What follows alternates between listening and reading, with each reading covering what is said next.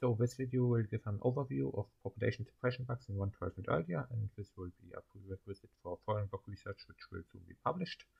So, um, I will, so terrain population is just, um, just if you um, generate a new chunk, it first doesn't generate all the blocks in it. It only generates like stone and grass and bedrock, and other blocks like ores and spawners only get placed afterwards. If you load a 2x2 grid of chunks in the positive x and z direction when it populates, and when it gets populated, it places blocks in a um, 16 by 16 area, which is 8 offset from, from the chunk borders of its population.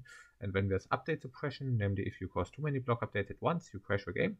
But if this um, these block updates which overflowed the, the stack um, were caused by a player action, then the game continues as normal, even though the, the game crashed, like the crash um, is caught but not handled, and the game just continues. Update suppression.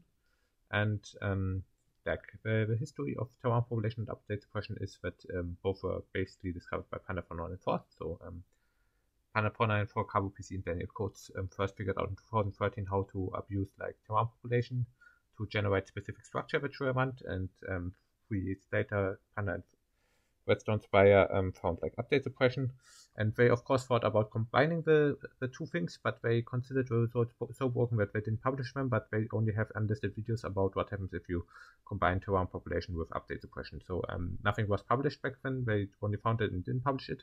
And it took until 2019 until um, somebody else had the idea of combining terrain population with update suppression, namely coolmann discovered that you can turn instant tile ticks um, by update pressing liquid blocks that do the terrain population. So when a liquid block is placed, it first um, turns on instant tile and after it finishes being placed, it uh, turns it off. And he found that if you update suppress it, then you can turn tile ticks, and that's super broken.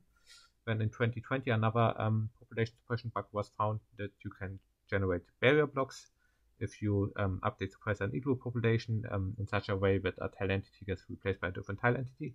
Um, you can also watch that video.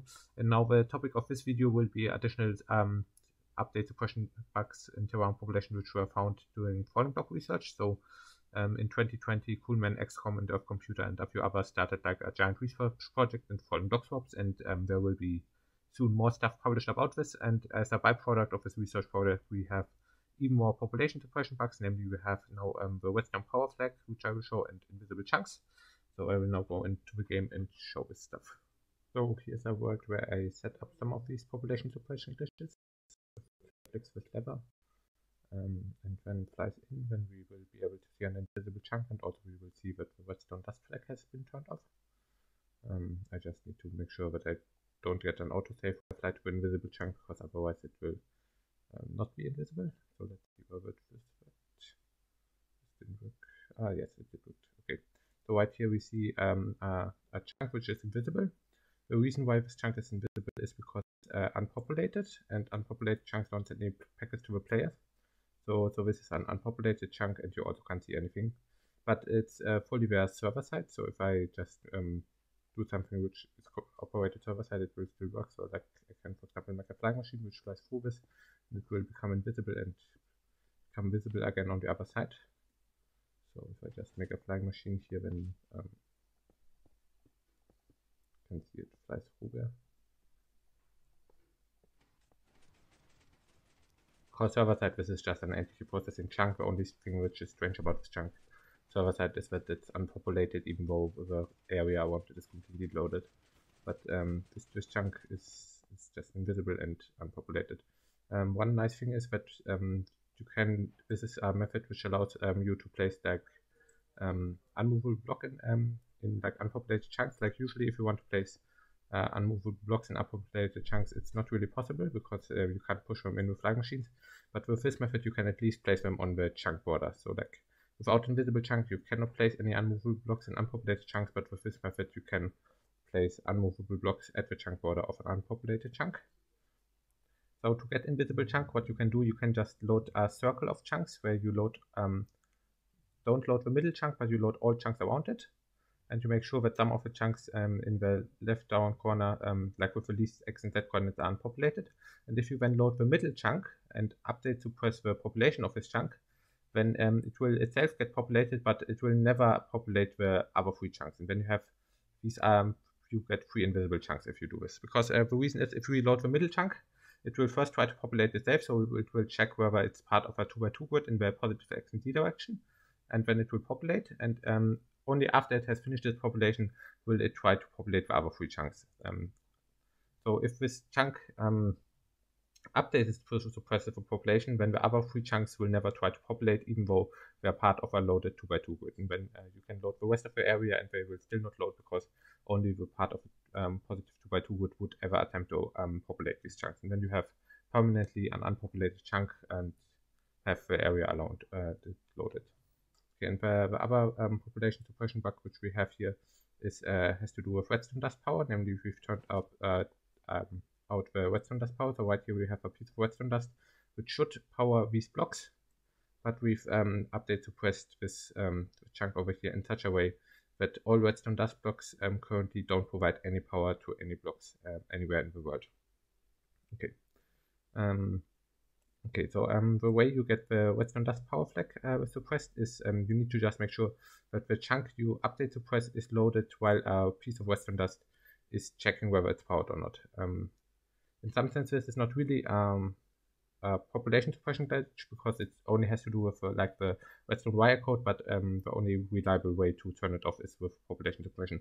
So basically, if a piece of redstone dust checks whether it should get powered or not, it will first turn off the global redstone dust power flag and make it so that no redstone dust can power anything in the world. And then it will check whether it's getting powered from something, and it needs to do that to prevent itself uh, it from being powered by itself. And if you then populate a chunk while like if you use the check of a redstone dust power node to load a chunk, and if you update the press the chunk population, then the redstone dust power flag will be off. So currently redstone dust doesn't power anything. Okay, and um, for example, in this setup, we have this rail line here, and it leads to this chunk.